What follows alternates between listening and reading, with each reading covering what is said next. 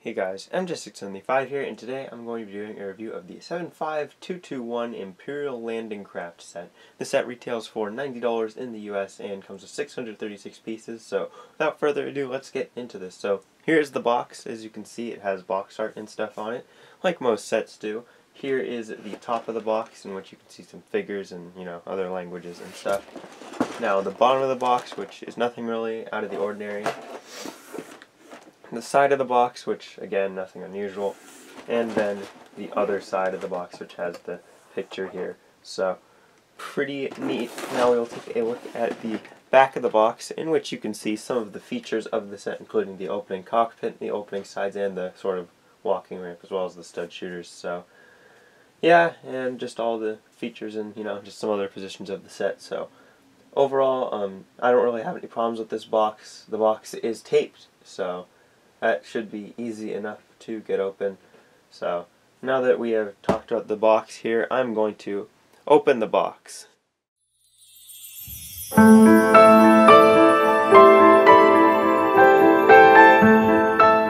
Included in the set is the box, the instructions and sticker sheet which come in this bag, as well as five numbered bags of pieces. Alright, so now we'll take a look at the instructions and sticker sheet. As you can see right here, they come in a sealed bag like this. Um, there's no cardboard backing or anything on them to keep them straight. They just come sealed in a bag like so, which I will now open and we'll see. Uh, this, this I believe this is actually a different packing than some of the ones I have opened recently. This is this was much easier for me to open, and you know that's someone who every time I've opened one of these on camera has had horrible luck and bent the instructions before. So now that we have unboxed that, we'll take a look at these, starting off with the sticker sheet. So here's the sticker sheet. It's There's not really a whole lot to it. A lot of these stickers are just white on a white sticker sheet. Um, there are three unique stickers, which can be seen here. And there are one, two, three, four, five, six, seven, eight total stickers. So not bad for a set of this size. And we will see how those go. As far as the quality goes, nothing really out of the ordinary with these stickers right here. So that is it for the sticker sheet. Now we'll take a look at the instruction manual. This is the pretty much the largest size of instructions for normal sets. And if we are to open this up, you can see talks about the normal stuff with the brick separator and then the different bags and how those all go together. And then you get into the build and if we are to go all the way to the end to see what's going on over there. You have some advertisements for some other LEGO Star Wars sets and minifigures right here, which is not really unusual for this wave. And then just right here you have more advertisements for solo movie sets. And then you have a LEGO Life advertisement, followed by the set's part inventory. So Nothing really unusual here. Product feedback survey on the back. Overall, I don't have any problems with either of these two things, and they do just kind of hold up to the normal standards that we've come to expect. So, nothing out of the ordinary, nothing really bad though either. So, now that we have taken a look at these, I'm going to build the set.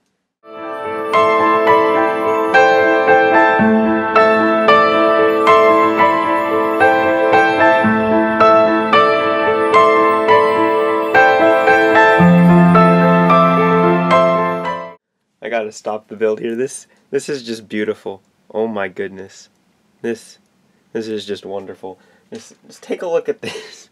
This is the actual helmet the way it's supposed to be, and this is this one. This this is something that is very amazing. I will probably cherish for very long after this video, whether or not I end up liking this set or not. So let's let's continue on with the speed build now.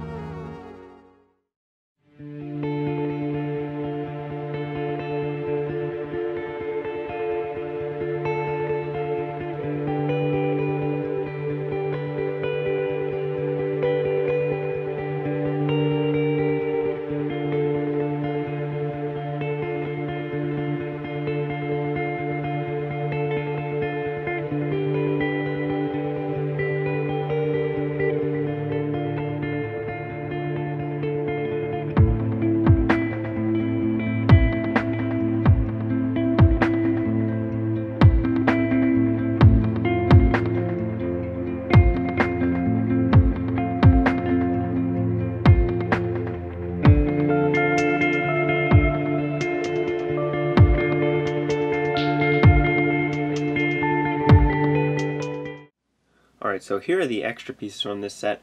The brick separator isn't really an extra piece, but I just threw it on there because it doesn't go on the build. And four of these studs are supposed to be for the stud shooters, and one of them is actually an extra. Um, my favorites among these are this pin bushing, I guess you would refer to it, in light gray, lightsaber hilt, and that's pretty much it. Um, all these are pretty normal pieces though. As far as the building experience went, it was quite enjoyable and there's not really much more to say about it than that. I did enjoy building this set. So now that we have taken a look at the extra pieces, I'm going to show you guys the figures from this set. Alright, so here are the figures that are included in the set. Going from left to right, we have a Sand Trooper, which mine is misprinted a little bit, as you can probably tell. We have a Sand Trooper squad leader right here. We have an Imperial shuttle pilot. We have Obi-Wan Kenobi, and then we have R2-D2 on the end. So, just first I will just rotate all these figures so that you can see all of them from all the different angles. And I guess we'll start with R2-D2 because R2-D2 over here is really simple. It's just the same R2-D2 that we've been getting. So nothing really special about it. No back printing or anything on R2-D2. You know, it's just the same prints that we've been getting for pretty much the last year at least, if not more. So nothing really new or interesting about that. But now we'll talk about these other figures here. So just take a look at the helmets and just different hat pieces. Um, obviously this one's my favorite right here, but these are all pretty decent. I mean, the gray hair is just kind of the same gray hair piece that we've had for a long time, but that's nothing really to complain about. It does fit Obi-Wan's figure quite well to have that hair piece, so now I will quickly remove these so that we can see the different faces, and as you can see, angry clone for both of the stormtrooper faces. Um, this is also a pretty common face for the shuttle pilot. And then Obi-Wan really has the only really newer or more interesting face. I don't know if this face is actually new for this set or not, but no alternate faces in this set at all, which, you know, kind of disappointing, but oh well. Um, then just taking a look at the fronts of the torsos. Here you can see that they all of the figures do have leg printing, which is pretty neat, and I do like all of their leg printing, especially the Sand Troopers. I think they look really good with that leg printing right there. And also they do all have torso printing. No arm printing. Again, really like the Sand Troopers, but all of the figures are quite fine. then we'll just quickly take a look at the backs once again. Um, the backs are covered up by these sort of moisturizers right here, I guess, or packs or whatever you like to refer to them as. I don't know the proper name for them off the top of my head, unfortunately. But these are covering up some back printing, and they also do have some shoulder pauldrons. The orange one is for the squad leader, and the other one is just for your regular sand troopers. So that is pretty much that. Um, if I were to remove all of these things, I don't know if I'm going to be able to get the head off. Oh, dropped some of that, but you can still see the other one right there and I have the piece again so I'll just put it back. It's it, it's fine. And then just to remove all of these other things you can see the back printing. I'm only going to remove it on this one here but it is the same on both because the torso pieces are the same and you can just kind of see it's the standard Stormtrooper one with a bit of sand and stuff in there as well. So that is pretty much it for the figures. Um, I'll just reassemble the Stormtroopers or Sand Troopers and we'll kind of go back around to the front. I mean, overall there's nothing really unusual about all these figures. Um, looking at it from just the set's perspective, obviously from this selection of figures, um, this one's a bit unusual, but overall, not really, not really anything insane to talk about. Um, if you're just looking at these, you know, pretending that these are the same helmet. But still, I really do like the selection of figures in this set. I think it could be improved, which we'll talk about a bit later in this video. But overall, I think that they have a decent selection of figures here. So now that we've taken a look at the figures, let's take a look at the actual Imperial landing craft that is included in this set.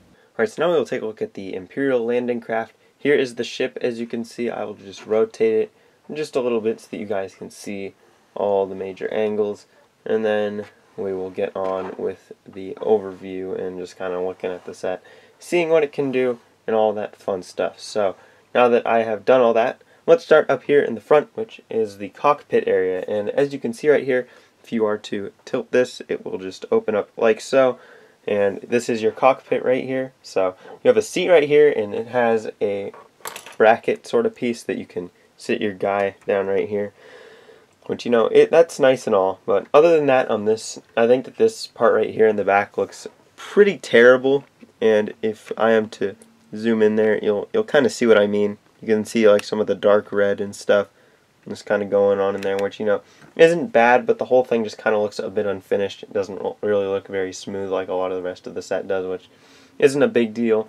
But you know, it's still something that I will complain about. And if you are looking for a control panel, um, there's one right up here, which is on the underside of the sort of cockpit right here. You can kind of see it's one of those one by two cheese slopes. If I'm to tilt that down, um, you can't really see it very well, but if I am to sort of tilt up, you'll be able to see it just a little bit like that. So there you go. So now that your pilot is in there, um, he can pilot the ship. Um, there's also stud shooters on either side of this, which as you can as you can see right here, um, they work just like stud shooters do. You just do that and shoots a stud out. It does come with four extra studs in this set in case you lose some, but I just wouldn't recommend firing them just so you don't lose any of them anyway. Um, moving back here, um, we have this this giant fin, which is up here, which, you know, it, it's alright. It doesn't really do anything super special for the set, but it is right here, and it does look pretty nice, except for a few things, and this is something that I noticed in quite a few areas of this set, is that there are some exposed colors if you look just a bit into it. Um, like right up here, I don't know if you can see it or not, but there's actually, if I were to remove this plate right here, you can see that um, there's some red and some and some tan right there. And those kind of bleed through as well as some of the blue that's really just on the inside there. And also some of the some of the dark red kind of comes through right here, and some of the brown comes through right there, and some yellow as well, which I'm not really big fans of. So overall, I'm not very happy with that, but that fin is there. There's a sticker on each side, so there you go. So also under the ship, before we get into this middle compartment, there is landing gear. This is not retractable. It is adjustable though, which you know that's neat, and it doesn't look too bad. So I'm I'm kind of fine with it not being retractable and I didn't really see with the design in the space that was allowed for the landing gear how they would really even go about doing that. As you can see, it's just these pieces stuck on there. That's all that they have for landing gear, which, you know, I, I totally get. So now we will go on to, into this compartment right here, and just opening these things up, it comes in three sections, and they open up like so. So this is really your inside of your cabin right here. This is all the space that you have for troops and other things, and it is the same on both sides. So we'll just take a look at this side. So as you can see right here, um, there are two kind of little cabin things right there, and then there's this thing right here. And what this does is if I'm to really quickly close all this back up, if you pull this down like so, you will notice that there is, well you can't see it very well, there's this little thing which peeks out, and you can pull this out and use it as sort of a loading ramp. So if you have, you know, your sand troopers, you can kind of have them walking on, walking on in. And unfortunately, if you do try to put it without put troopers on it without holding it, it will get pushed back into the landing craft, which is kind of unfortunate. Like if I were to do this right now, you can't really see it very well if I don't tilt the ship. But right here, here we go. We got a guy I'm going to put on here and it kind of just pushes in. So unfortunately you do have to hold it a little bit. It's not the most stable thing. But once you get them on there, it actually does look pretty good even though the scales don't quite line up for this. But I still think it looks good. The one thing that I don't think looks good about it is just this transparent red stud. And I know why they put this on here. They put this on here so that if it's like poking out, you can easily kind of grab that and then just pull on that and pull that down. But I still think it looks kind of poor. And that's that's really all I have to say about that. Maybe change the piece to a different color or something. That's that's my suggestion for how they would fix that criticism right there. But then you can close this back up and then be on your way. And once again, opening back up this section of the ship right here will give you some access to the main interior of the ship. This piece does not open up, it's just static in place by some pins and one thing that I did not point out is that these are supposed to be kind of like guns right here. And the way that they look is that they so they come out and they They, well, they don't really come out. They're just kind of there, just like this. They're on both sides. And I guess those are supposed to be the actual guns that the stud shooters represent, which, you know, I don't think it looks very good, but I'm fine with it being included on this set. And then just, once again, taking a look back in here, you have kind of these little little divots in there, or little drops that you can put your troops in. Um, the set only comes with two troops, which is kind of unfortunate, but you can you can kind of sit them down. There's not like a bracket or anything, so you'll be sitting them down on all studs. But you can sit your troops down in there, or you could lay them in there. Um, it will close with them sitting down or laying down, as you can see. Um, it just fits in there really nicely. So um, I think that works well. And, however, though, I don't think this is the most efficient way that they could have done this because you can really only fit like maybe, maybe if we stretch it like maybe six troops, you could sit one in each of these. I mean, I guess if we're going to go like that, you could probably fit like 10 troops if you tried to cram two in each of these and then just lay one down on this loading ramp. But I mean, that's really all you have, and I mean, I guess I guess you kind of have this open space right here, which you could probably see another troop on, so you can maybe fit like 11 troops in here, which, you know, isn't bad, but I still just don't think that this space is very efficiently used. So that that's kind of my, those are kind of my thoughts on that. Um, so, yeah, you can seat your troops down in there, like so. Um, I think that the backpack, though, is actually kind of preventing them from locking in, which I guess is kind of a good feature. Um, whether they intended it or not, I think that was a good design choice, I guess. Um, so that's really all there is for the middle section there. It's the same on both sides. And just to prove that it's the same, I will open it up. And there you go. And it's just the same thing, just twice on both sides. So that's that's really all there is about that. Um, and so now we will move back. And before we move all the way back, um, one thing I will point out is that something that I, you really don't see on Lego sets a lot these days is that there's actually an open pin right here. Oh, I don't think you guys can see it very well, but there is a single open pin. It is black, and you guys can kind of see it. It's right in front of this body piece right here, like kind of in between here. If you guys know what I'm talking about, you you guys should be able to see it very well. That's something that you don't see on Lego sets very often for good reason, and that's just that it looks terrible. And even though it's kind of in a secluded place, you're not going to be able to see it very well. I still don't like this, and it is on both sides of the set. So, yeah, um, not a huge fan of that. Um, my suggestion for how they would fix that is put like a bushing or something on it, or just use a smaller piece that doesn't have that extending off of it. So that's really all there is to talk about there. So now let's move on to the back of the ship, which looks very interesting. Um, I really do like this blue thruster engine right here, or whatever. And really the main feature of this is that you have these wings and that these are on clicking hinges or ratcheting joints and they can just ratchet down like so so that you can get the wings in this nice position right here. So there you go. That's really all that there is back here. Um, there's a lot of open space right here. And you can see a bit of the hollow construction right through here as well. If we are to pry that up, you can see that it is very hollow in here. Um, I don't actually know why they didn't decide to use this as like a storage compartment or something. Um, maybe because the door would be hard to make or something, but you could just make these things lift off or something. I mean, they have enough pieces where I think that they could totally have done something with this. Maybe just remove like that giant piece in the middle, and then you could store some droids or something in there. You know, it, it's something that you could use, and if I do decide to modify this set, um, it's probably something that I will look into doing something with, but in the stock form, um, this is entirely closed off and there's not really much you can do with it. Just a little open space that looks kind of hollow if you know what to look for. In the set, right here, you can really see it. But that's pretty much all the features of this set. Um, it's not really a whole lot you can do besides that. Um, so, I mean, I guess, I guess that's kind of it. And we'll just fold these wings back up. Um, they don't go any more than straight up.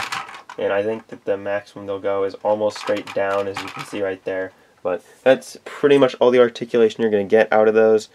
So that is the entire set. Um, you do have these two figures off to the side being Obi-Wan and R2-D2. They don't have a vehicle or anything. They just kind of stand off to the side.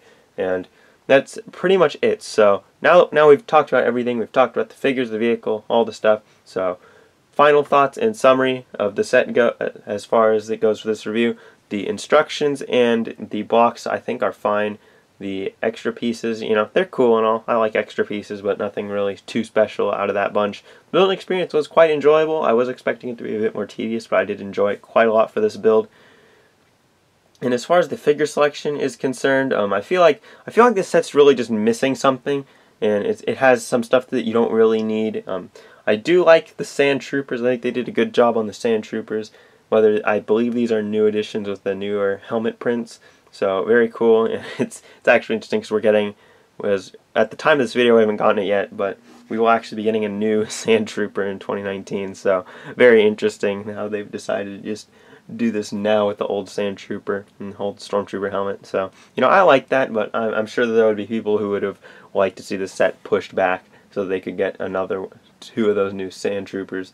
Um, as far as the shuttle pilot goes, I mean, this figure is nothing special. I'm not going to pretend like it's special in any way, but it definitely does do what it needs to do in this set, and there's not much else to do uh, with that figure or complain about.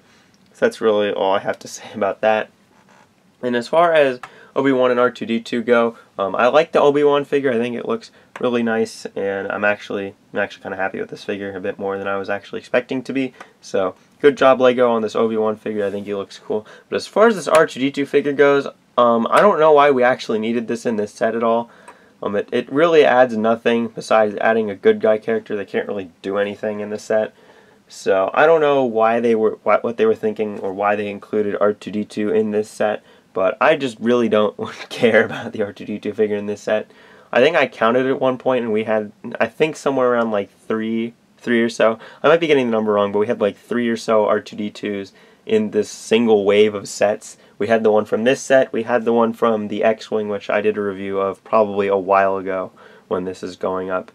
And also there was one with the Anakin Jedi Starfighter, which I also reviewed quite a long time ago. So, quite a few R2D2s. Um, they were all the same figure, and I don't know what to do with this one, so I'm not a huge fan of it including R2-D2, but that's what they gave us. In place of R2-D2, I would have liked to see a Sand Trooper, you know, just another regular one, or maybe maybe even two regular ones. You know, you have a $90 price tag with, you know, maybe a 700, you know, with maybe a $70 price per part count, you could totally have thrown in another figure with this set Lego, but you know, I think I think it's decent. Um, they definitely missed out on some opportunities with this R2D2 and the lack of sand troopers because you don't even have enough sand troopers to fill this vehicle.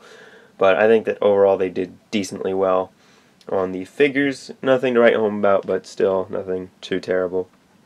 And lastly, um, this ship right here. Um, as you can see, it is quite a big ship actually, but $90. I don't think this is worth $90.